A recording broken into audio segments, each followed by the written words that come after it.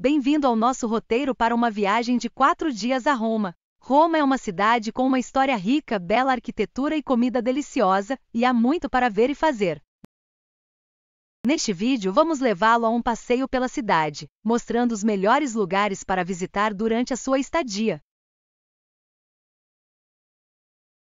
Vamos começar com a sugestão de passeio para o seu primeiro dia em Roma. Visitando o Campo de Fiore, a Piazza Navona, o Panteão, a Igreja Santo Inácio de Loyola, a Piazza de Monte Citório, a Piazza Colonna e por fim a Fontana de Trevi. Comece o seu dia visitando o Campo de Fiore, uma charmosa praça localizada no coração do centro histórico de Roma. Aqui você pode ver o colorido mercado diário de flores. Em seguida, vá até a Piazza Navona, uma das praças mais emblemáticas de Roma. Esta bela praça barroca abriga a impressionante Fonte dos Quatro Rios, projetada por Bernini, e a igreja de San Agnese em Agone. Você também pode fazer uma pausa em um dos muitos cafés ou restaurantes ao ar livre desta praça. Depois da Piazza Navona, siga para o Panteão, um dos marcos antigos mais bem preservados de Roma. Este antigo templo romano, agora uma igreja, é famoso por sua cúpula maciça e o buraco em seu pico, chamado óculo, que permite a entrada de luz natural. Não deixe de dar uma olhada no túmulo de Rafael, o famoso artista renascentista, localizado dentro do panteão. Em seguida, visite a Igreja Santo Inácio de Loyola, uma igreja jesuíta conhecida por seus impressionantes afrescos barrocos e pinturas de ilusão de ótica. A cúpula da igreja é um exemplo disso, pois parece muito maior do que realmente é devido ao uso da perspectiva nos afrescos. Depois vá até a Piazza de Montecitorio, sede do parlamento italiano. Você pode admirar a bela arquitetura neoclássica do Palazzo Montecitorio, que abriga a Câmara dos Deputados da Itália, e passear pela praça. Da Piazza de Montecitorio, basta uma curta caminhada até a Piazza Colonna, outra praça importante de Roma. Aqui você pode ver a bela coluna de Marco Aurélio, adornada com relevos que retratam as campanhas militares do imperador romano. Por fim, Termine seu dia com uma visita à Fontana de Trevi, um dos marcos mais emblemáticos de Roma. Esta impressionante fonte barroca é um local popular para turistas e moradores locais, e é imperdível em qualquer viagem a Roma. Certifique-se de jogar uma moeda na fonte, pois dizem que garante seu retorno a Roma. No segundo dia iremos começar por um dos lugares mais famosos de Roma, o Coliseu, depois seguimos para o Monte Palatino, o Fórum Romano, o Mercado de Trajano, o Monumento Vitor Emanuel II, o San Pietro in Vincoli, a Basílica de Santa Maria Maggiore e a Basílica de San John Lateran. Comece o dia no Coliseu, um dos marcos antigos mais emblemáticos e bem preservados de Roma. Construído no século I d.C., o Coliseu era um enorme anfiteatro usado para jogos de gladiadores e outros entretenimentos públicos. Depois de explorar o Coliseu, siga para o Monte Palatino, que oferece belas vistas da cidade. É aqui que os antigos imperadores romanos construíram seus palácios e onde se acredita que a cidade foi fundada. Do Monte Palatino, caminhe até o Fórum Romano, um antigo mercado que já foi o centro da vida romana. Depois de explorar o Fórum Romano, dirija-se ao Mercado de Trajano, um antigo centro comercial que foi maravilhosamente preservado. Em seguida, vá até o monumento Vítor Emanuel II, uma estrutura grandiosa que homenageia o primeiro rei de uma Itália unida. Depois, visite San Pietro in Vincoli, uma igreja em Roma conhecida por abrigar as correntes que foram usadas para conter São Pedro quando ele foi preso em Jerusalém. A igreja também contém a famosa estátua de Moisés de Michelangelo.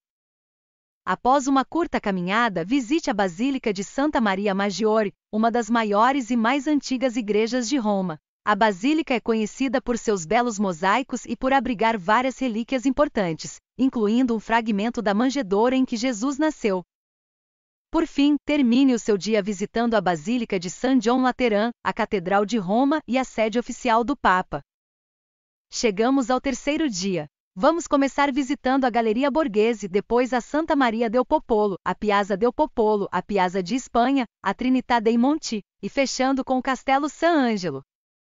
Comece o dia na Galeria Borghese, um impressionante museu de arte instalado em um belo parque. A galeria apresenta uma renomada coleção de esculturas e pinturas, incluindo obras de Bernini, Caravaggio e Rafael. Em seguida, visite Santa Maria del Popolo, uma bela igreja localizada a uma curta caminhada da Galeria Borghese. A igreja abriga várias obras de arte importantes, incluindo duas pinturas de Caravaggio. Depois de visitar a igreja, dirija-se à Piazza del Popolo, uma grande praça localizada na entrada do centro histórico de Roma. A praça é cercada por vários marcos importantes, incluindo o Panteão e a igreja de Santa Maria del Popolo. Agora, caminhe até a Piazza de Espanha, uma famosa praça localizada na parte inferior da escadaria espanhola. A praça é um destino popular para turistas e moradores locais, e abriga várias lojas e cafés. Suba a famosa escadaria espanhola, um lance de 135 degraus que liga a Piazza de Espanha à Trinità dei Monti, uma igreja franciscana localizada no topo da escadaria. Os degraus e a área circundante são um local popular para os turistas apreciarem as vistas e os sons de Roma. Termine o dia com uma visita ao Castelo San Angelo, um castelo que virou museu localizado às margens do rio Tibre. O castelo foi originalmente construído como um mausoléu para o imperador romano Adriano, mas serviu como fortaleza, residência papal e prisão ao longo dos anos. Hoje, é um destino turístico popular, oferecendo belas vistas da cidade a partir de seu terraço. Se chegou até aqui, não se esqueça de deixar o seu like e se inscrever para assistir mais roteiros. Para o último dia, conheça a cidade do Vaticano uma cidade-estado cercada por Roma. É a sede da Igreja Católica Romana. Ela é a residência do Papa e está repleta de tesouros da arte e da arquitetura. Inicie o passeio conhecendo os museus do Vaticano, depois a Capela Sistina, a Basílica de São Pedro e a Piazza de São Pedro. Comece o seu dia visitando os museus do Vaticano. Os museus abrigam algumas das coleções de arte mais importantes do mundo, incluindo obras de artistas como Rafael, Michelangelo e Leonardo da Vinci. As coleções abrangem uma ampla gama de assuntos, incluindo arte egípcia antiga, escultura grega e romana e pinturas renascentistas. Os museus também abrigam a Biblioteca do Vaticano, que contém uma das maiores coleções de livros e manuscritos do mundo. Depois de explorar os museus, vá até a Capela Sistina. A capela é famosa por seus afrescos no teto pintados por Michelangelo, que retratam cenas do livro do Gênesis. A capela também abriga muitas outras obras de arte importantes, incluindo afrescos de artistas como Botticelli e Perugino. A Capela Sistina é a capela papal e é usada para a eleição de novos papas. Da Capela Sistina, você pode caminhar até a Basílica de São Pedro.